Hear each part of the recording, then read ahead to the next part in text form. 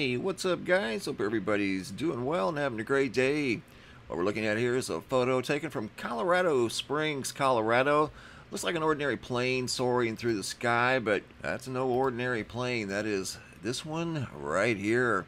A stealth photo taken by CJ from Colorado. Incredible photo reflecting sunlight as it was at actually sunset. It was during this moment right here, CJ took a photo of the clouds low on the horizon and that plane high up in the sky, making its presence known. You really couldn't tell by looking at that photo right there, but CJ zoomed in and got that incredible photograph. Speaking of incredible photographs, got a brand new picture slideshow. Also got a photo of what looks like a dual sunset we're going to analyze that photo here in just a second. I'm going to show you what I found. It reminded me of the photo that came from Kenya that kind of looks like a dual sunset to me, but more than likely that is some sort of a sundog over there, absent a halo. Normally those are associated with halos around the sun. I don't see one obvious here because there's so much cloud cover. And that is kind of a unique color of orange. Very unique photo. Uh, don't know really what to think of that one. This one here, first glance, you think, wow, we've got two suns over here. And I got to be honest, it's pretty good because looking at the water here, you're seeing this secondary sun appear to be reflecting light on the water. But here's what I found after looking at this closer. That reflection is also going up in the air. You can see it here and you can see it especially right here. See the reflection and then see the, the light being cast up into the air, which is impossible.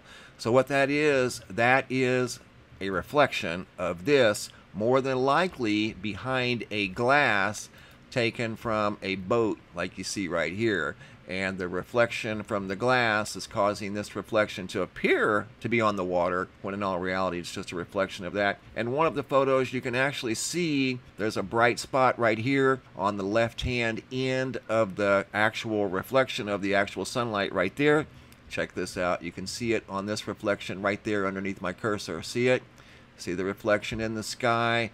And there is yet another reflection and then one over here as well. So at first, you know, at first glance, I thought maybe that that was a pretty decent photo, but you got reflections all over the place. There's one here on top of the boat, which obviously isn't there, and then there's a reflection going up in the air right there. That reflection is actually on the glass that's taking this photograph. It's a, it's behind a piece of glass. Glass, especially taking photos of the sun, will cause all kinds of wild reflective contaminants. Look, you've got one there. You've got one there, you've got one here, and then you've got one up here. I mean, there are loads of reflections. So that's a pretty good indication that the photo was taken from behind a glass. Hopping over to the Schumann resonance, got an unusual signature here. It looks like a rapid vibration or something in the resonance data that lasted for about three hours, about 36 hours ago. Kind of unique, not something you see every day. Don't really know the source. Hopping over to the Yellowstone supervolcano caldera.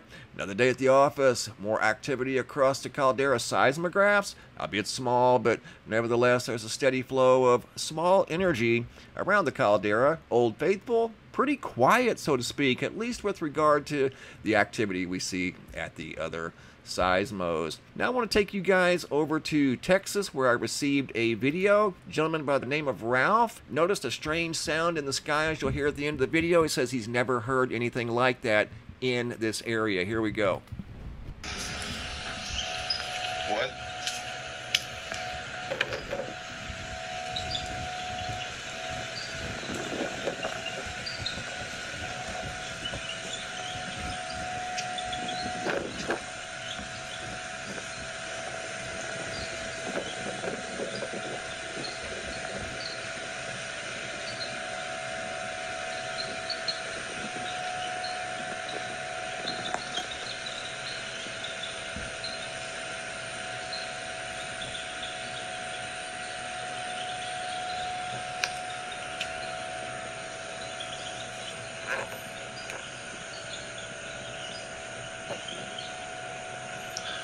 Never heard this sound before. Some sort of a strange humming sound that appears to be coming out of the sky. He'd never heard anything like that before, was uh, taken back enough to turn on his phone and start recording it. So, don't know what to think of that. Not exactly sure of the location in Texas. I'm waiting to hear back. As soon as I hear back from Ralph, I'll share that with you guys. Here's a photo of the monsoon, one of the monsoons that made its way into the Western Valley. Seems like once they got to the edge of town, this was on the 30th, they kind of fizzled out. They were coming in from the south for a while. This is from the west over by Glendale. Photo sent in, and uh, I had a small video clip of, of the same cloud. Um, monsoons rolled in, but they didn't roll all the way through the city. Got chances of monsoon uh, yet again today. Here's a new picture slideshow I put together. New sky phenomena photos sent in from all around the world. Sylvia Loyalton, California.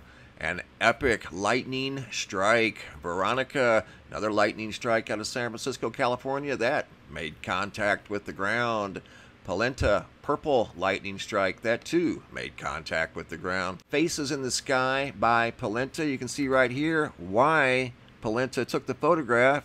That's not altered. That's exactly the way I received the photo. It's like a face in the sky. See it?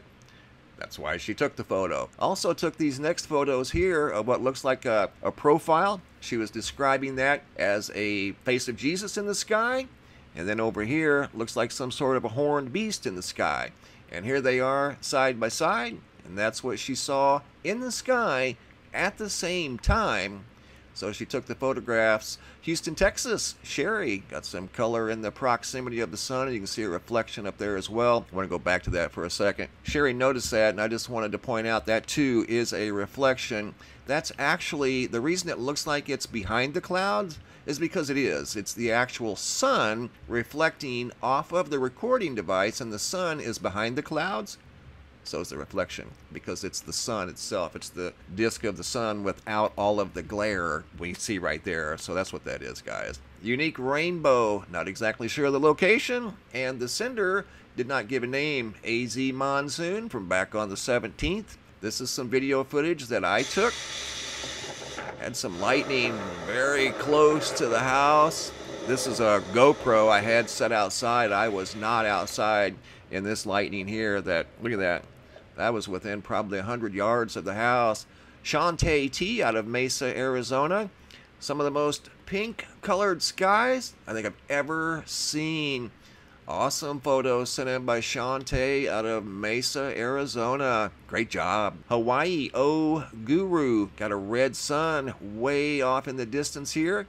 Almost looks like it's tucked in behind some sort of wildfire smoke. Out in Hawaii. Look at that. Great observation. S.J. Mookie, Campbell, California. Another lightning strike that made contact with the ground. This one here did not. It's like a big ship up in the sky. Here's a huge bolt that definitely made contact with something over there. Litchfield, Texas. Shelly B. Spectacular photo here of, of the sunset. Also included in the photo is a lightning strike. Star Atlas. Not sure of the location, but this is a incredible little video clip of the sky in rare form. How about that? Looks like a big comet or something just took a side swipe into the atmosphere. Steve K out of Iowa. This is unedited. Exactly the way I received both of these photos. This one here is a, a double rainbow tucked in behind a purple haze. Here's a strange cloud of, of yet another, what looks like a person standing up on the cloud. I mean, you can't make this stuff up. That's how I received it. That looks like a human being standing up on the clouds. We all know it's not, but that's what it looks like.